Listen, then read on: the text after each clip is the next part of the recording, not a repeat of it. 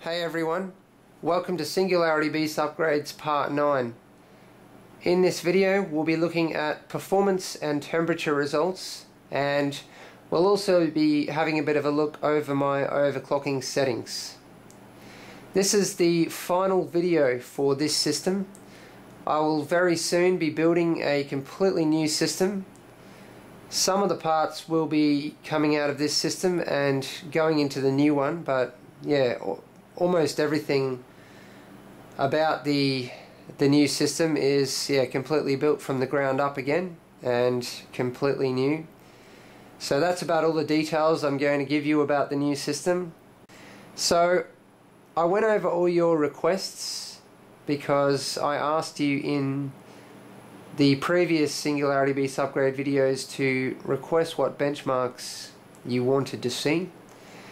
And yeah, I've got, I think I've got every single benchmark that I saw requested and, and I've thrown a couple more in as well. Alright, so first of all, I'll show you the benchmark results in a number of screenshots. Then we're going to move on to some temperature results, which will just be my my normal temperature testing, 30 minutes of prime 95, and then 30 minutes of folding, folding at home for the GPUs. And yeah, that's about all the temperature results that we'll be looking at. I mean, I might give you a look at the, the coolant temperatures as well once I've heated the system right up. And I'm not actually going to be overclocking the, the GPUs and you know then doing another whole run of benchmarks mostly because I, I have done a bit of overclocking with these with these GPUs and I didn't get very far. I was actually quite disappointed with how far I got. Uh, I think next time I you know, next generation when I buy GPUs, I'll be buying some kind of overclocking card with beefed up power with a beefed up power delivery system and you know higher quality components all of that. Something like the MSI Lightning or you know there's quite a lot of overclocking cards out there. I'd much prefer something like that. So what I will be showing you though is the overclocking settings that I run 24-7 on my CPU and memory. And yeah that's it. That's all that we'll be looking at today and yeah as I said this is the final the final video on this system. Just quickly before I go through these benchmark results I just want to elaborate uh, a little bit more on what happened with the overclocking of the GPUs all these benchmark results are with the GPUs at stock clocks and the CPU at 4.4 gigahertz and the memory at 2000 megahertz. And that's what I run 24-7 and I've been running those settings for over a year now. So yeah certainly no problems with those settings settings. They're completely stable. I haven't had a single blue screen or crash for any of that time. So that's what I'm going to be running for every single benchmark result today. Okay the yeah what happened with the GPUs I couldn't get them over 8, 850 megahertz on the core and about 2100 on the memory. And that is really really disappointing for me. I think there's a weakness somewhere whether it's in the motherboard or one of the graphics cards. Yeah, and that's the reason why I want to get over overclocking graphics cards next time. I'll be trying again on my new platform when I build the new system. I'll certainly be trying to overclock the GPUs again and see if I can get further.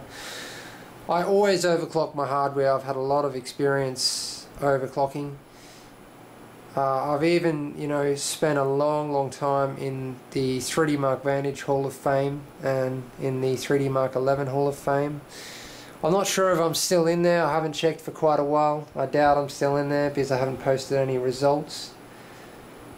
But anyway, on to these benchmark results.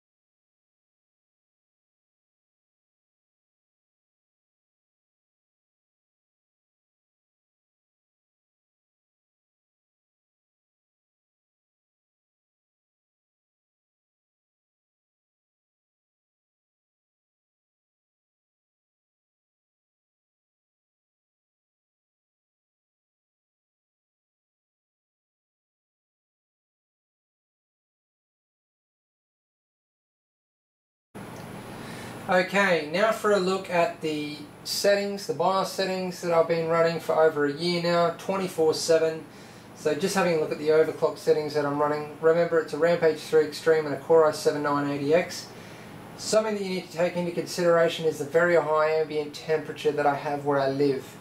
Okay, 33 degrees is the average temperature in my room, 24-7. And that the temperature of the room the ambient temperature directly affects the temperature of the hardware. So I think you've had a, long, I think you've had long enough to have a look at those settings just there now. I'm not going to explain too much of this. I'm just going to go through it and show it to you. So I'm running a, a multiplier of 22. Only people who understand overclocking will understand this. And, you know, it might be difficult for people to understand this who are not used to this particular BIOS and this particular motherboard. But you know there is some some basic settings that you can understand, and that is the multiplier of 22, the BLK of 200. Very simple overclock that I'm running here. It's just you know this is what I came to after a lot of testing. But as I was saying, the room temperature, the ambient temperature, directly affects the temps of the hardware. Uh, in this case, the CPU. So this is as far as I was able to overclock because of heat. I can go heaps further if I can cool the CPU better. You know, the only limit that I have is is temperature, is heat. You know, at this overclock, well, I just ran Prime 95 and it failed after 10 minutes. It was getting up to 90 degrees, and my room temperature is about 34 at the moment. So, you know, get that gives you an idea. That directly affects the hardware temps, and because I'm just about to upgrade my system, I haven't dust cleaned my radiator, you know, the, the radiator that's cooling the CPU and memory for a very long time. It's very clogged up. So my temps are running about 10 degrees hotter than they normally do. Very bad time to show you my temperatures. You know, I've got all these things working against me. So yeah, unfortunately Prime 95 has failed at these overclocking settings. So I'm running 2000 megahertz on the memory, ULK 3000 megahertz and a QPI of whatever that is. Uh, you know, that's how it's measured on the Rampage 3, but yeah, you'll see it. I can't remember how, it, you know, sometimes you'll see the actual multi multipliers for these things, so you'll see the multiplier for the the Uncore and the the multiplier for the QPI on different boards, but what you're seeing here is what it multiplies out to, if, you know, if that makes any sense. As I said, it will make sense to overclockers. 910, 927 uh, control control rate of uh, 2N on the memory. That's 12 gig of memory, keep in mind. Of course, they're Dominator GT. So I'm running X Power, full load line calibration, uh, I'm running 1.425 on the CPU and 1.3875 on the QPI and I'm running 1.65 on the memory and 1.66 on on the North Bridge. So there you go. That's the overclocking settings that I'm running. And yeah, as I've said, I've been running them for quite a long time. I kind of got an average CPU. You know, my 980X is, is average.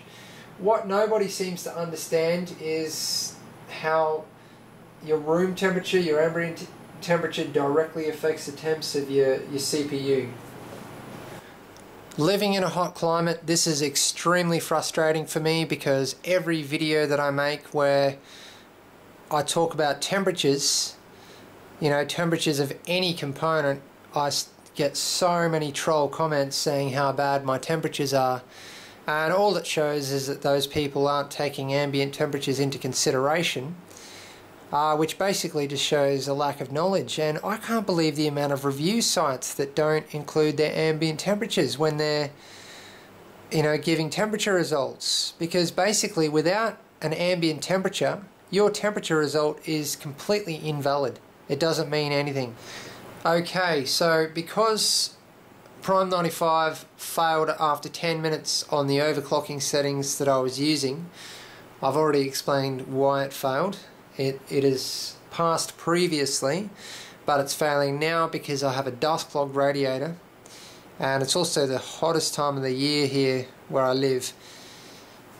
So what I've done is completely defaulted the CPU clocks but I am running the XMP profile on my memory. So default CPU XMP on memory and I am now going to run Prime 95 again for 30 minutes.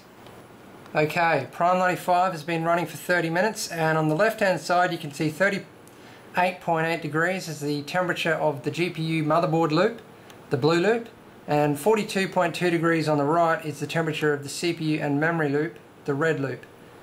Now usually I'd show you this in screen capture using screen capture software or a screenshot but I just wanted to prove that yeah these temperatures are being taken at exactly the same time. Those are the temperatures of all the cores okay? So I mean one of them reached 57 but most of the time they're sitting around 50 53 degrees and this is after 30 minutes of Prime 95 large FFTs so the CPU is at stock clock. So look at that. That's about what is it? Uh, well let's say it's 52 degrees okay? And the temperature of the coolant is 42 degrees. So that's a 10 degree delta which is incredible. The CPU temperature is only 10 degrees above the temperature of the coolant. And the coolant is only 10 degrees above the room temperature because the room temperature is 30 about 32 degrees. So there you go.